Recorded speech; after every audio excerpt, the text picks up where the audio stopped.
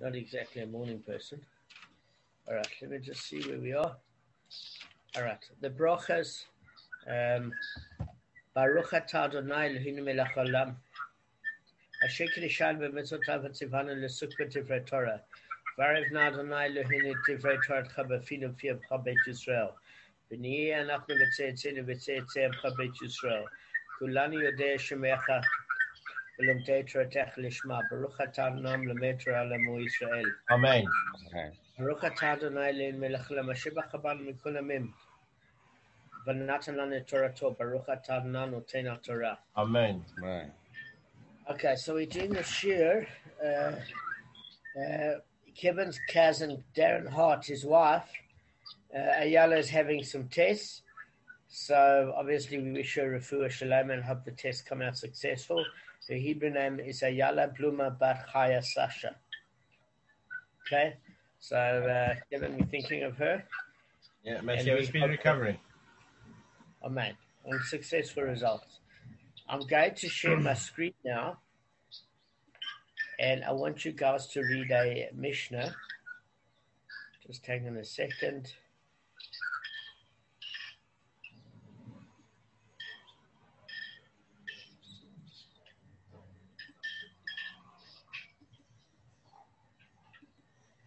All right. Now, uh, Arth- Arthur, um, I want you to read it, but just read it uh, carefully. Okay. The Mishnah now elaborates the case of tooth stated in the Mishnah of 15b. Regarding what is the tooth of the animal of an animal muad. It is muad to eat what is appropriate for it. An animal is muad to eat fruits and vegetables. If an animal ate a garment or utensils, he, her owner, pays half the damage. When uh, when are these things said? Where the animal eats these things on the damaged party's premises. But if she does so in the public domain, he, its owner, is not liable. However, if she benefited from the food, then she, therefore the owner, pays what she has benefited. Carry on. Continue. The Mishnah Okay. elaborates. The Mishnah elaborates what is the case in which she pays what she has benefited. Benefited. If she ate appropriate food from the middle of the street, she pays what she has benefited. What? Uh, but if she ate from the sides of the street, she pays what she has damaged. Similarly, if she ate from the entrance of a store, she pays what she benefited. But if she ate from inside the store, she pays for what she has damaged. Okay. Uh-huh. All right. It makes sense. So we're going to share this. We're going to share the screen uh, again, and I'm going to go through it point by point. Kev, I'm hearing a lot of background noise on your side, which is cool. Um, okay, that's no problem. So I just don't know how to do it. What I'm going to do is I'm going to decrease my volume on my side so that you can ask me any questions and then just put it up appropriately. Now it's not. It's not going to bother me. It's absolutely fine. All right. So listen. This is the stage of the Gemara. What happens? We always have a Mishnah, and then we have a Gemara that expands on this. Okay. So I'm going to add quite a bit of information to this, to what you're reading uh, together. So let's read on what we said. The Mishnah now elaborates the case of tooth stated in Mishnah 15b.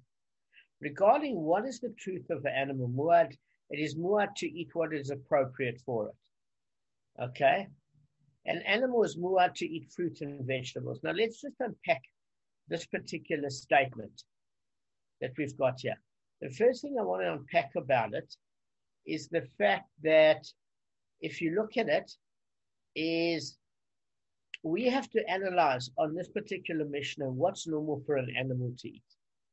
Okay, because the animal, what's normal, goes into three categories. Number one, what the animal generally eats. Number two, what an animal eats, what you call what you can call in a pinch. In other words, it's uh, it fulfills the animal, but it's not the animal's first dietary choice. However, it's beneficial to the animal. And the third thing is what it's not suitable for the animal to eat. Okay, those are the three things you've got to look at. Now, the, the other two factors you have to look at is where this is taking place with Shen. Is it in the public domain or is it in the private domain in terms of appropriateness, right? So when we use the term, it is muad to eat what is appropriate for it. Remember, we studied in the previous Mishnahs on 15b, what does that constitute? Do any of you guys remember? Guys? What does that constitute? Uh, yeah, what does it constitute that category? Is it's muad to eat what is appropriate for it. What we learned before is we said, hang on a second, there are animals that are carnivoristic. They're carnivores. They're either wild animals or they're yeah, carnivores. Yeah. Somebody domesticated a dog, a cat, yeah. uh, which can be domesticated, but in essence, their diet is meat. So that's what we refer to what is eat, what is appropriate for it. You're talking about normal versus abnormal uh, we're talking about uh, what is appropriate two categories of carnivores a wild animal which you raise from young, mm. um, which is generally carnivorous in nature, or an animal which is known as a domesticated animal, which is also carnivorous yes. in nature. Yeah. Okay, so that's what we determine what is appropriate for it. It's different to an animal is muad to eat fruit and vegetables. So that is your general herbivore animal, your your workhorse animals. Domesticated.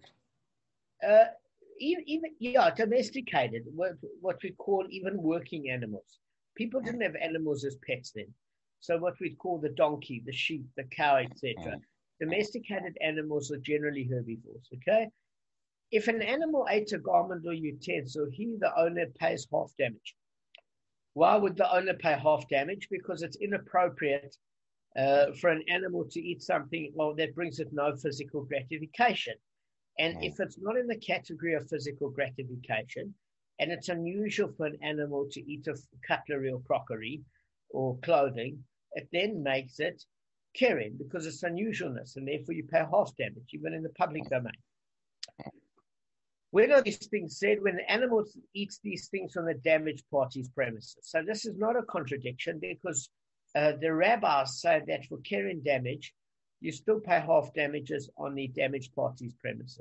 It's only Rabbi Tarfon that says you pay full damages for Keren time. Okay? Yeah. But if she does so in public domain, he, the owner, is not liable. So, guys, I just want to explain to you what it refers to with this he and she quickly uh, this term he and she is interchanging. Generally, the term she is a female work animal, and the word he is the owner of that animal. That's how it refers to. Uh.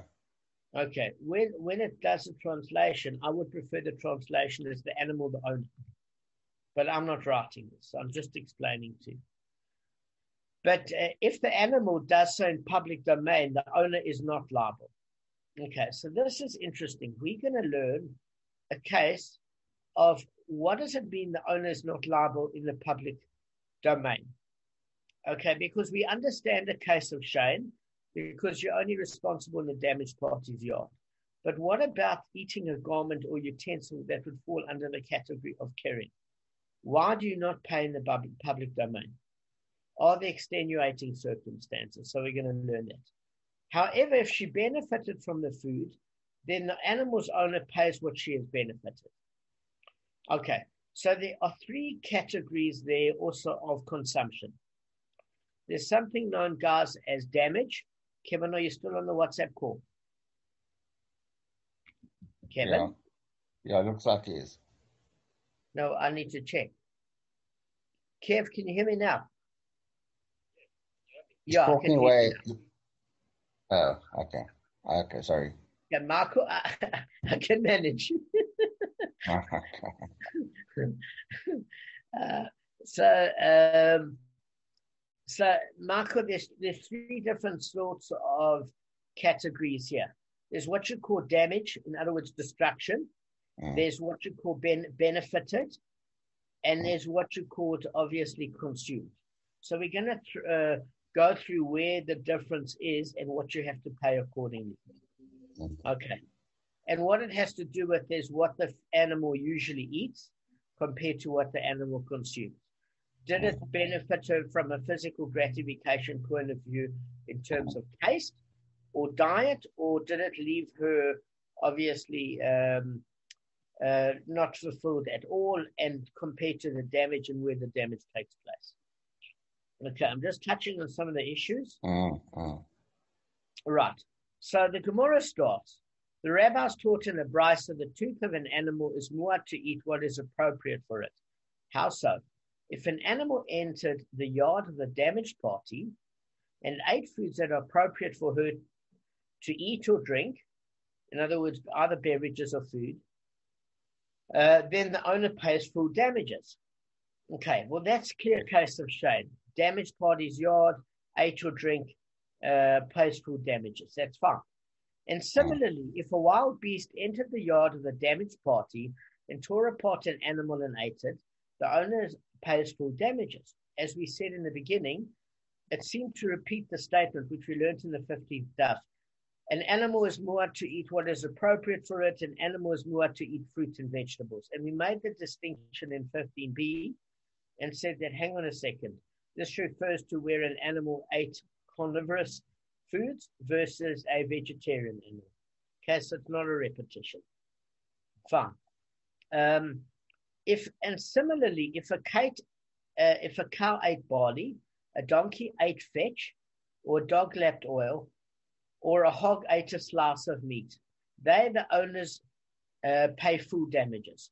Okay, so I'm just going to explain to you uh, what this means. Okay.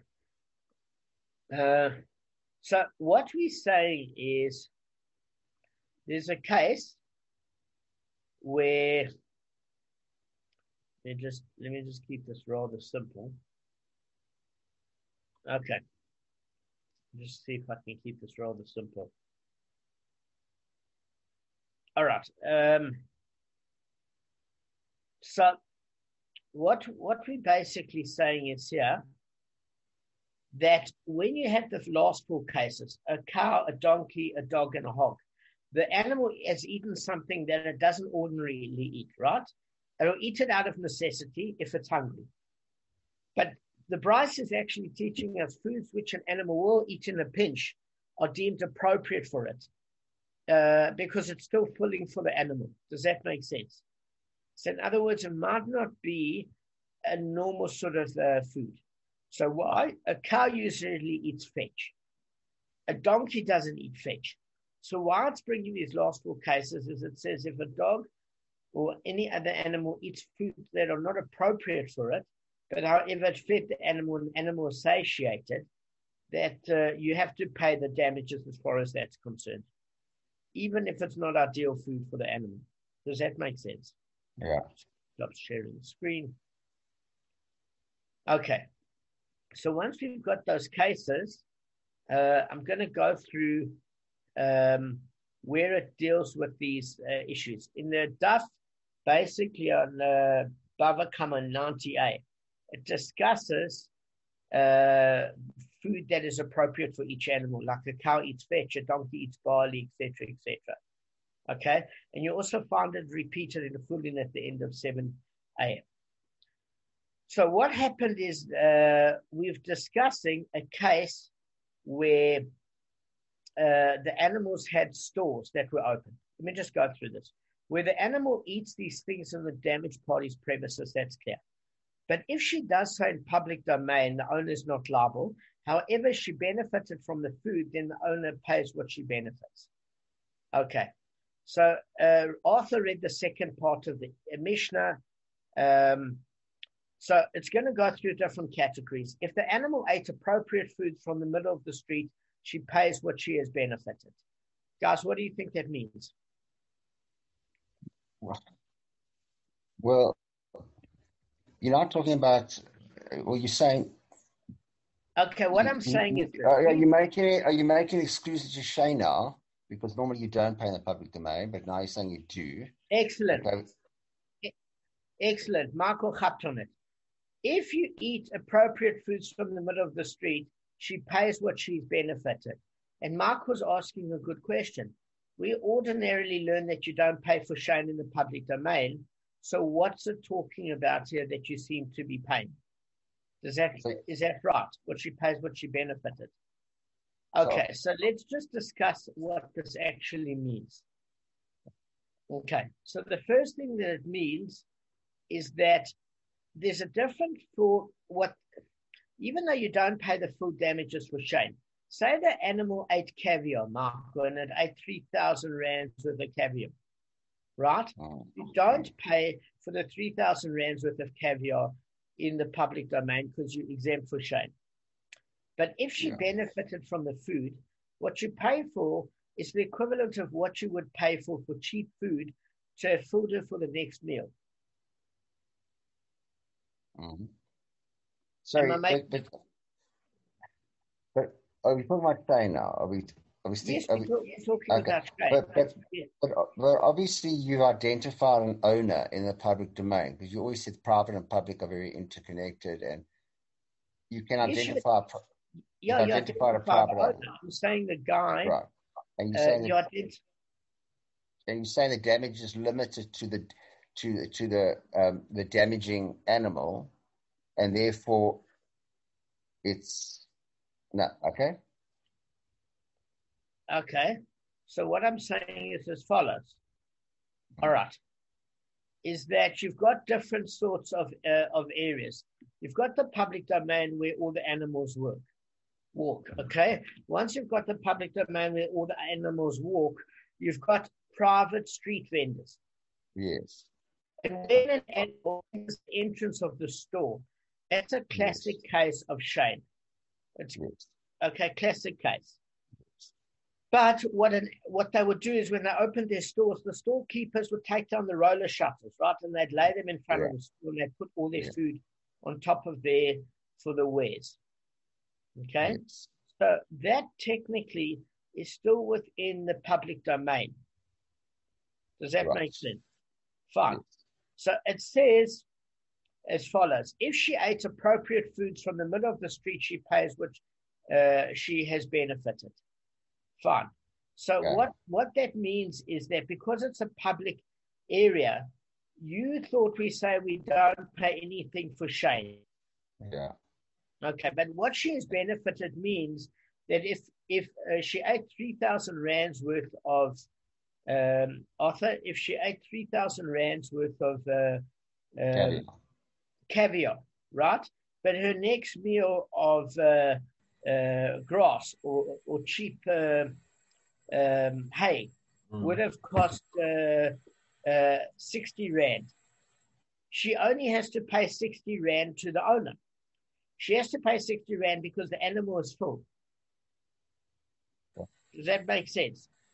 So it's Makes similar, sense. It just doesn't sound it's sort of similar to the. I mean, it's like related to the concept of uh, when you. I'm, I'm I'm just thinking out of my head here, where if if the, if the animal's good, you pay half the body of the the value. So you're paying up to a reasonable amount, basically, of what the animal would have, or no, half the uh, body. it wouldn't be the same thing because. No, I'm talking similar. I'm talking like it's related. It's not like you're paying for the caviar. You're paying for the value of what the animal would eat. Like Okay, but yeah, I, I get what you're saying, but that doesn't quite make sense because in other cases you don't pay anything.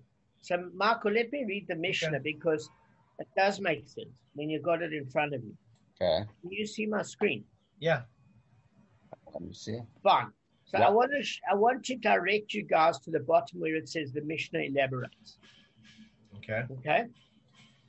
You'll notice there's three words here. What is the case in which she pays what she has benefited?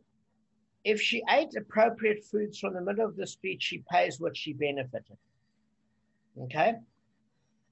So, what that actually means is it's a standard case of shen in the public domain, which she does not pay actual damages.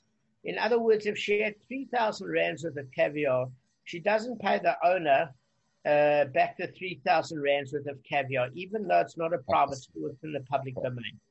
Okay? Yeah. Because he should have been more aware and not left Mm. things in the public domain. What the owner of the animal is entitled to pay uh, the caviar owner for is the fact that her next meal has been taken care of. Right. Which is a different right. issue. Fine. Yes. But if she ate from the sides of the street, she pays what she has damaged. Now, what is the difference there? Pays what she has damaged. What we're saying here is this is the case of Keren. The Gemara seems to separate a case of where the animal ate.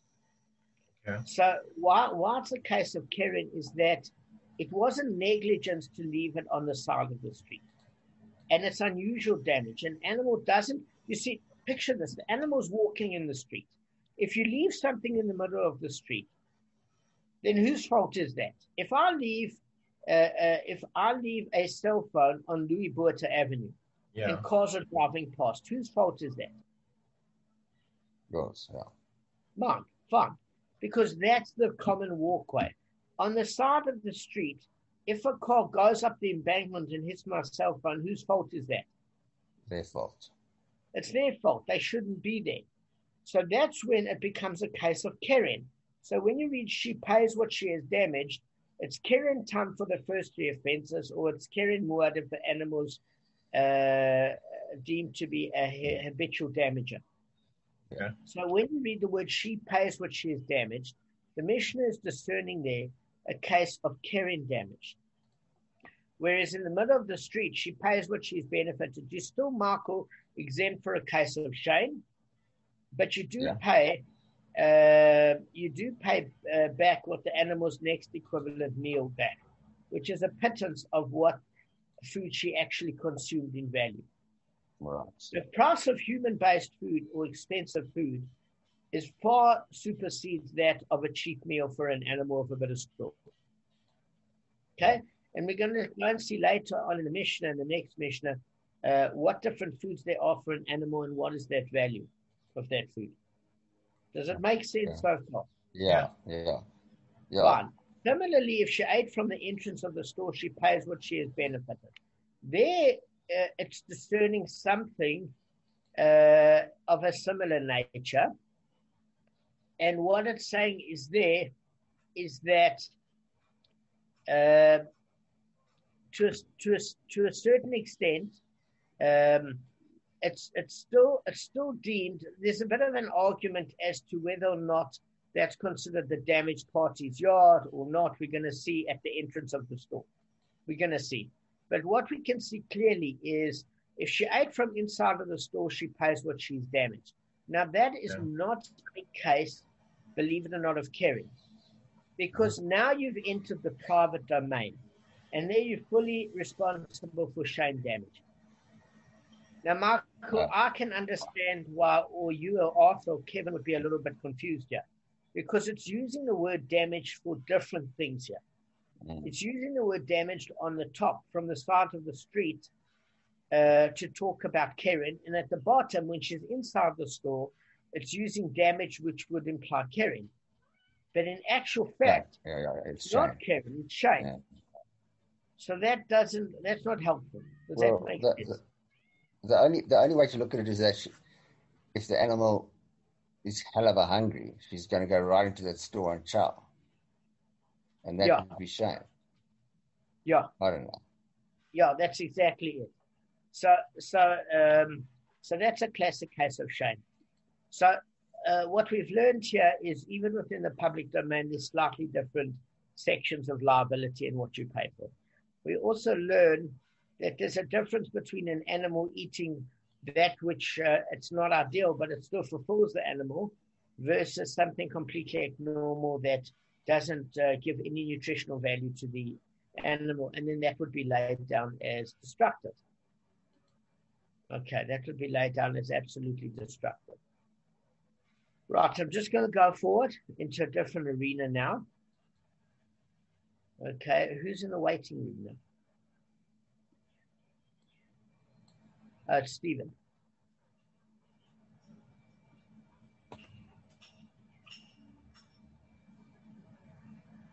Stephen. How's it, Steve? Hey, damn, you're right. Eh? All right, and you, shame, but sorry, we started at 8 o'clock. There 10 minutes left.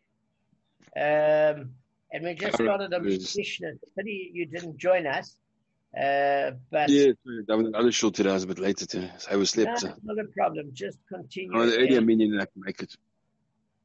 Okay, it's not a problem. Just continue and enjoy. You must let me know when you want me to uh, catch you up.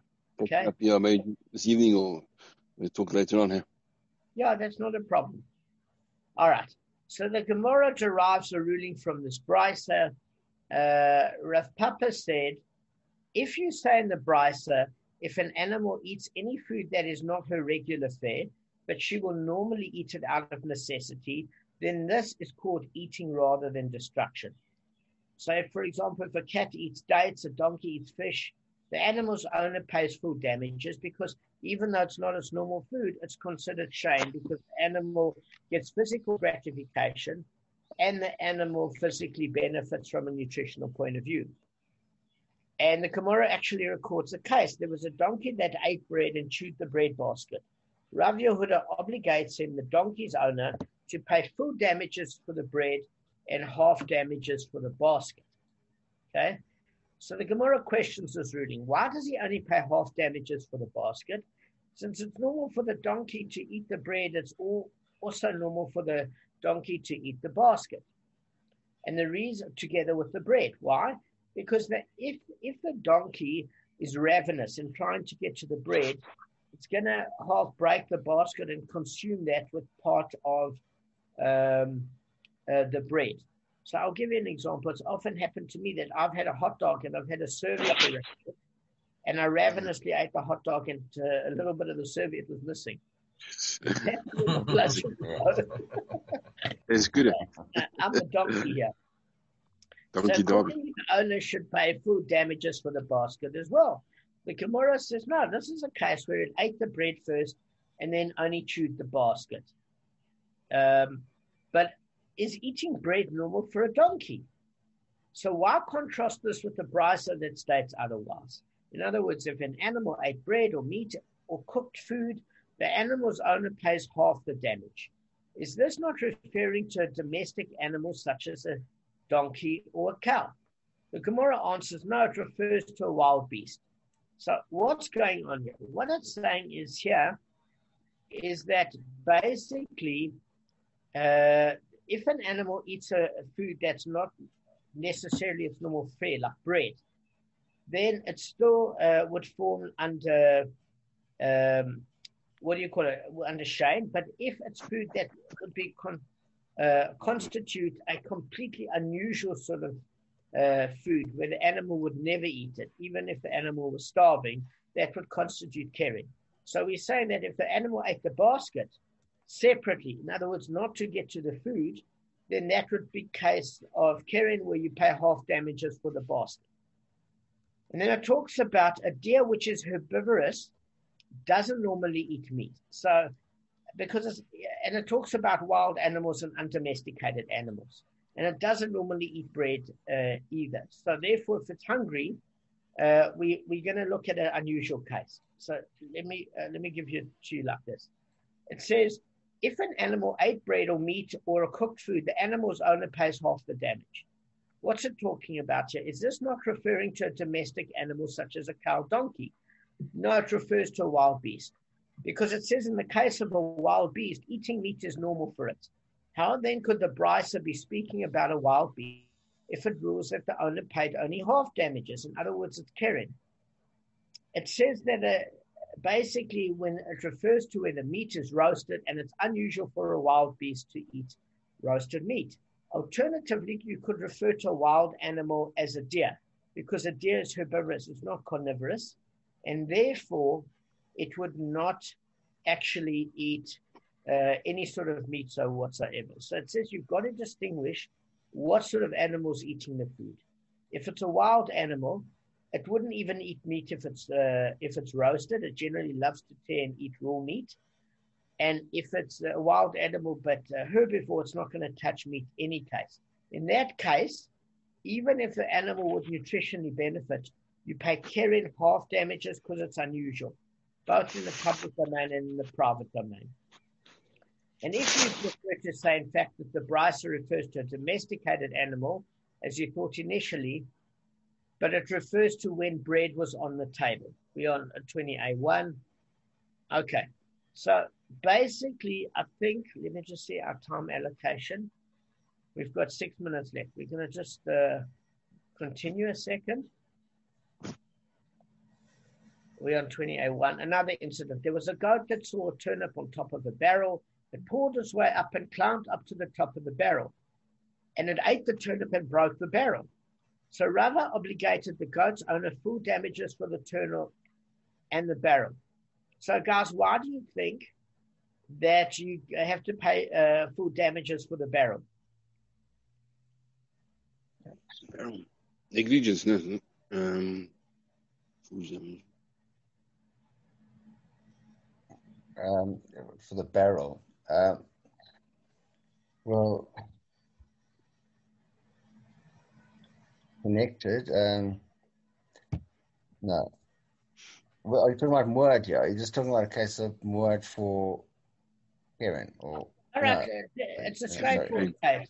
The goat climbs, uh, Mm. uh, climbs up to get a turnip on top of a barrel, and it poured and climbed its way up, and it ate the turnip, and the barrel broke. So Rava obligates the goat's owner full damages Uh, for the turnip and the barrel. It sounds like simple for Taurus. Oh, I'm sorry. the whole barrel broken. Uh, Okay. It, it sounds like it's this. It's, it's, yeah, are we one of those now where it's connected, but it's disconnected. okay. Uh, this guys, connect- it's, don't act- it's actually very straightforward. It's a case of Okay. shade, regel mixed. Why? Mhm. A regel, of course, regel. Yeah, that's If right. the animal climbs mix, on the barrel with its weight, broke Yeah. the barrel, and it's Yeah. not considered very unusual because the whole reason the animal climbed up the barrel was to eat the turnip. Okay. So since it's Mhm. normal for the goat to eat the turnip, it's also normal for it to pull its way up and climb up to the top of the barrel in order to eat the turnip. Yeah. Okay. So another ruling. Ilfa said if an animal was in the public domain and she stretched out her neck and ate from food that was at the back of a fellow animal, she, um, her owner is uh, liable to pay. What's the reason for this? In other words, the back of a fellow, um, we're talking about the public domain. Animal A and this animal B. Michael, I have my animal, and Kevin is in front of me, and my animal starts eating from Kevin's animal's backpack where there's food hmm. in it. Now, that backpack of Kevin's animal, the reason there's food in it is to feed Kevin's animal. Yeah. So why does Kevin, you or Arthur think that you should pay for that in the public domain? In the public domain. Yeah. Maybe. Yeah, Kev? I can hear you, Kev.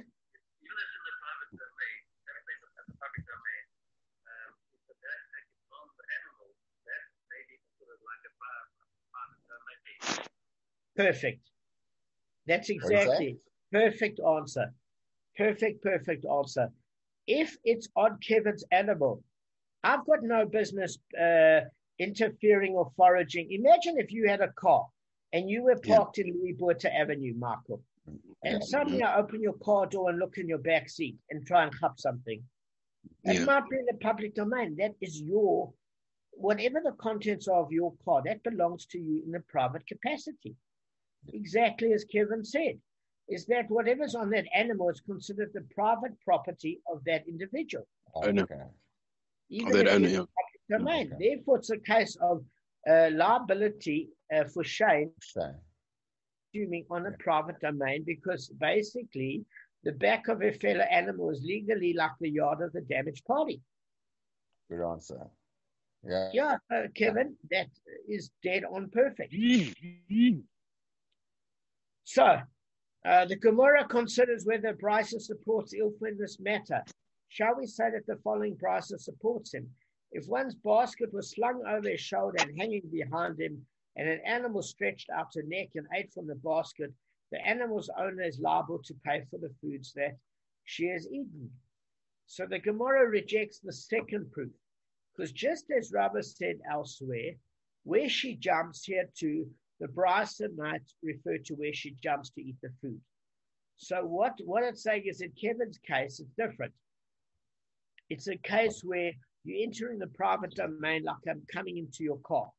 In the secondary case, it's unusual Yeah. for an animal to uh, actively go after another animal's food. It's one thing if two animals are in a public walkway, animal smells food, and it eats it and it starts to chop. It's a different thing when an animal does acrobatics and does what is considered very unusual to get to the food. And therefore, it's a case of uh, half damages because of the unusualness in the public domain. Does, that- does that make sense? Because the animal um, uh, rests Uh. on the back of another animal and eats the load from a prone position. So we're saying it's one thing if an animal stretches out and eats. It's another thing if it climbs on the other animal, which is carrying damage. So if it's a usual way that an animal will forage, uh, you've absolutely entered the private domain the minute you start foraging in another person animal's backpack. It's like me going to Kevin's car. All right, guys, Mhm. we've finished on this note. I hope you have a good day. Thank, thank you guys. thanks for joining us. And nice I wish you